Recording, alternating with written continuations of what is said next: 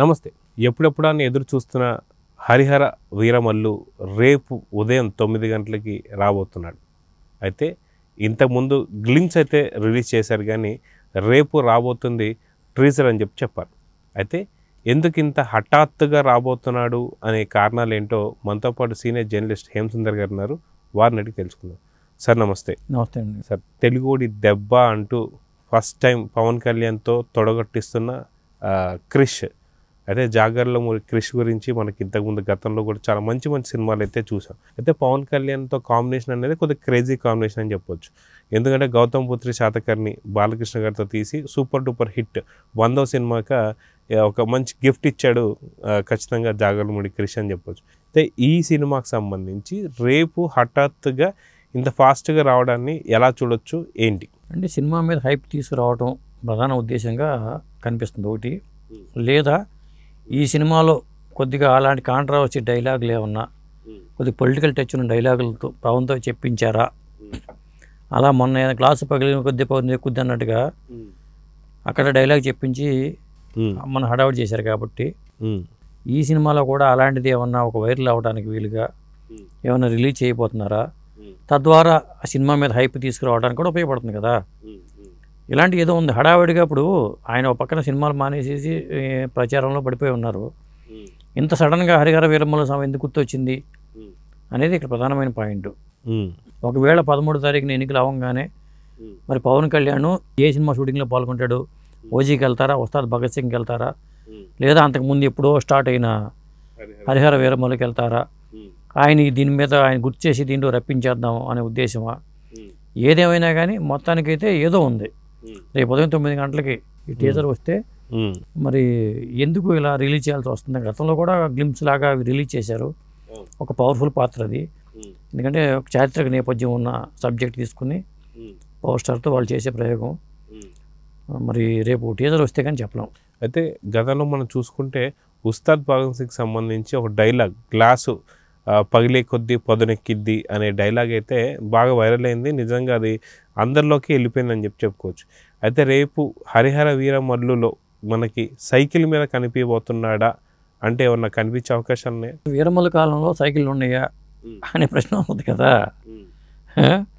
కాబట్టి అట్లాంటిది కాదు కానీ మరి మొత్తానికి ఏదో ఒక డైలాగ్ పొలిటికల్ డైలాగులో ఎందుకంటే అక్కడ కూడా రాచరిక వ్యవస్థలో ఉండేటప్పుడు పాత్ర ఇది. వీరమల పాత్ర. కాబట్టి అక్కడ నేను అనుకోవడం ఏంటంటే కొంత ఆ డైలాగ్స్ ఏమన్నా పంచి డైలాగ్స్ పడే అవకాశం ఒకటి ఉంది. ఆ పాత్ర ద్వారా వీరమల ద్వారా పాత్ర ద్వారా పలికించే డైలాగులు ఏమన్నా ఉండుంటాయి కాబట్టి నేను అనుకోవటం అలాంటిది ఏమన్నా జరగవచ్చు అనుకుంటున్నా. ఒక విధంగా అటు పొలిటికల్గా పవర్ స్టార్ పవన్ కళ్యాణ్కి ఒక క్రియేట్ అవుద్ది.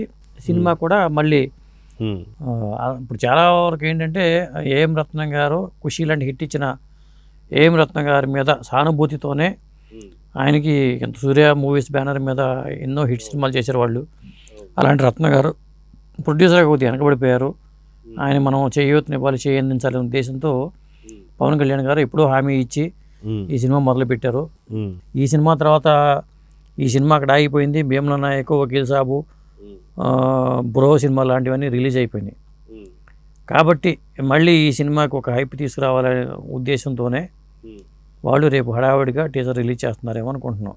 అయితే మొన్న భగత్ సింగ్లో గ్లాసు జస్ట్ ఇందాక పుష్ప టూ అస్సలు తగ్గేదేలే అంటూ అక్కడ ఒక గ్లాస్ సీను. ఇదే విధంగా చాలా వరకు ఈ మధ్య వస్తున్న సినిమాలు అన్నింటిలో కూడా గ్లాసులు మనకు బాగా కనిపిస్తున్నాయి. సో గ్లాస్ అన్న కనిపించే అవకాశం ఉందంటారా? ఉండొచ్చు చెప్పలేము. నేను అనుకోవడం గ్లాస్ కాకుండా పొలిటికల్ డైలాగ్స్ ఉండొచ్చు అనుకుంటున్నాను నేను అనుకోవడం. రేపు ఖచ్చితంగా ఆ డైలాగ్స్ పవర్ఫుల్ డైలాగ్స్ ఉండే అవకాశం ఉంటుంది. ఈ సినిమా ఎంత షూటింగ్ అయింది ఇంకెంత కావాలి అనే సమాచారం ఎవరి దగ్గర లేదు ఎవరు చెప్పట్లేదు కూడా. కాబట్టి ఆ రిలీజ్ ఎప్పుడు అవుతుంది పాన్ ఇండియా సినిమాగా ప్లాన్ చేశారు వీళ్ళు. సాధారణంగా ఏంటంటే క్రిష్ డైరెక్షన్లో సినిమాలు చాలా ఫాస్ట్గా అవుతాయి. మనం గౌతపుత్ర చేతకర్ణి కానీ లేకపోతే కంగనా రనౌత్తో చేసిన సినిమా కానీ ఇట్లా చూసుకున్నప్పుడు ఆయన పెద్ద సబ్జెక్టు స్పాన్ ఉన్న సబ్జెక్ట్ అయినా కానీ చాలా మణికర్ణిక fast గా. కూడా ఫాస్ట్గా చాలా మణికర్ణిక చాలా ఫాస్ట్గా ఆయన సినిమాలు చేస్తారు కాబట్టి అక్కడ ఆయన పరంగా లోపం అనుకోవడానికి లేదు. కానీ కొన్ని వార్తలు అయితే వస్తున్నాయి క్రిష్ గారిని తప్పించారు ఇంకొక డైరెక్టర్ని రప్పించబోతున్నారు అని చెప్పేసి కూడా కొన్ని వార్తలు వస్తున్నాయి. నిజం అంటారా? అలా అనుకోవడానికి ఏం లేదండి. ఇప్పుడు ఏంటంటే కొంత గ్యాప్ వచ్చింది కాబట్టి ఏదో మొత్తానికి వార్తలు ఆ విధంగానే కనీసం వార్తలు వస్తాయి కదా. ఇప్పుడు మర్చిపోయిన సబ్జెక్ట్ని మళ్ళీ మనం గుర్తు చేసినట్టు అవుతుంది కదా. ఇప్పుడు ఓజీ ముందు వస్తుందా లేకపోతే ఈ వీరమ్మల ముందు వస్తాడా లేకపోతే ఇంకా ఏ సినిమాలు రాబోతున్నాయి ఏ సినిమాలకి ఆయన టైం కేటాయిస్తారు. ఇలాంటి అంశాలన్నీ ఉంటాయి. ఒకవేళ ఇప్పుడు ఎట్టాగో అధికారం రాబోతుంది. అధికారం రాబోయిన తర్వాత పదవులు కీలకమైన పదవులు చేపట్టి అసలు ఆయన టైం కేటాయించే పరిస్థితి ఉండదా? ఇలాంటివన్నీ ఉన్నాయి. ఏదేమైనా కమిట్ అయిన సినిమాలను ఆయన పూర్తి చేసుకుని ఫ్రీ అయిపోతే బాగుంటుందండి. ఎందుకంటే నిర్మాతలు అనేవాళ్ళు చాలా డబ్బులు పెట్టి అప్పులు తెచ్చి సప్పులు తెచ్చి ఓ పక్క కరోనా టైంలోనే ఇండస్ట్రీ బాగా సఫర్ అయిపోయింది. అలాంటప్పుడు నిర్మాతలకు సంక్షేమాన్ని కూడా పవన్ కళ్యాణ్ కోరుకుంటారు కాబట్టి ఖచ్చితంగా ఎంతంత బ్యాలెన్స్ ఉందో ఆ నుంచి ఆ బ్యాలెన్స్ షూటింగ్ పూర్తి చేసుకుంటే ఆయన ఫ్రీ అయిపోయి ఇక ఐదేళ్ళు ప్రజల మీద దృష్టి ఫోకస్ పెట్టుకుంటే బాగుంటుంది. అయితే షూటింగ్లు పూర్తిగా కంప్లీట్గా ఆగిపోయాయి అని చెప్పేసి ఒక ఐదు నెలల క్రితం నుంచే పుకారైతే లేపారు. కానీ ఓజీ డేట్ కానీ మిగతావన్నీ కూడా చాలా ఫటాఫట్గా వచ్చేస్తున్నాయి. అది ఇప్పుడు కూడా ఈ హరిహర వీరమ్మలు కూడా ఆ, షూటింగ్ ఏదైతే ఎలక్షన్స్ అయిపోయిన వెంటనే షూటింగ్ ప్రారంభం అవబోతుంది అని కూడా కొన్ని వార్తలు వస్తున్నాయి. నిజమంటారా? మనం చెప్పలేము. ఎందుకంటే ఎలక్షన్ అయిపోయిన తర్వాత వెంటనే షూటింగ్కి వెళ్తారని కూడా చెప్పలేము. ఇప్పుడు ఎన్నికల ఫలితాలు నాలుగో తారీఖు వరకు వీళ్ళకి టెన్షన్ ఉంటుందండి. ఫలితాలు వచ్చే వరకు కూడా వెయిట్ చేస్తారు. నేను అనుకోవడం. హడావుడి హడావుడిగా షూటింగ్ చేసే పరిస్థితి లేదు.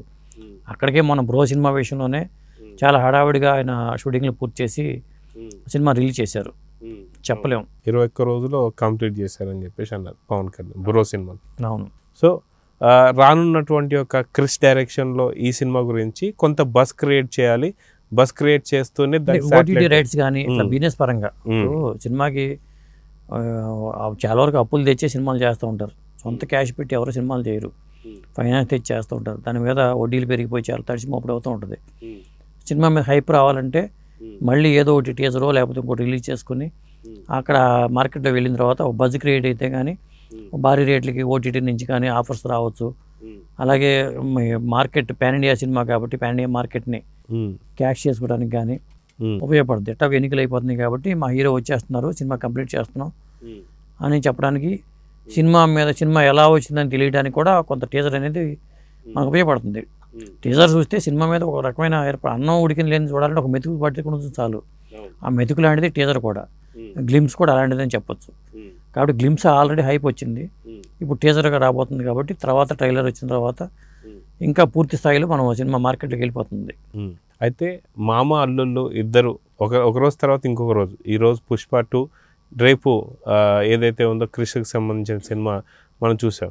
ఈ రెండు కూడా ఒకనొక పోటీ పోటాకి వస్తుంది కాబట్టి దీన్ని ఎలా చూడొచ్చు అంటారు? ఇదే కాకుండా ఉస్తాద్ భగత్ సింగ్ సంబంధించి లేకపోతే ఓజీ సినిమా సంబంధించి కూడా రావచ్చు కదా. ఇప్పుడు ఈ పదమూడో తారీఖు లోపు ఏమేమి జరుగుతాయి చెప్పలేము. కాబట్టి ఇప్పుడు ప్రతినిధి టూ సినిమా రిలీజ్ అవ్వాలనుకున్నారు. అది ఇంకా ఇంతవరకు దానికి సంబంధించిన ఇది రావట్లేదు. ఇవన్నీ ఏంటంటే పొలిటికల్తో కనెక్షన్స్ ఉన్నాయి. ఒక పక్క ఎన్నికలతో కనెక్షన్ అయ్యి ఎన్నికల్లో పోటీ చేస్తున్న వ్యక్తులు పార్టీలతో సంబంధం ఉన్న సినిమాలు కాబట్టి మనం వీటి గురించి ప్రతినిధి గురించి మాట్లాడుకున్నా లేకపోతే వీరమ్మల గురించి మాట్లాడుకున్నా ఆ, అందువల్ల మాట్లాడుకోవాల్సి వస్తుంది. సో సోషల్ మీడియాలో పవన్ కళ్యాణ్ సంబంధించి ఏ మ్యాటర్ అయినా సరే చాలా ఫాస్ట్గా దూసుకెళ్తుంటుంది వ్యూస్ కూడా భయంకరంగా కొల్లగొడుతుండే సో రేపు రాబోతున్న హరిహర వీరమల్లు ట్రీజర్ పేరు కూడా ఇలాంటి అంచనాలు ఉన్నాయి అనుకోవచ్చు ఖచ్చితంగా ఉన్నాయి. రేపు ఉదయం తొమ్మిది గంటలకల్లా టీజర్ రిలీజ్ అవుతుందండి. దాంట్లో పొలిటికల్ డైలాగులు ఉన్నాయా?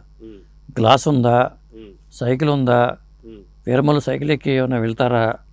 ఇవన్నీ రేపు తొమ్మిది గంటలకు కానీ మనకు తెలియదు.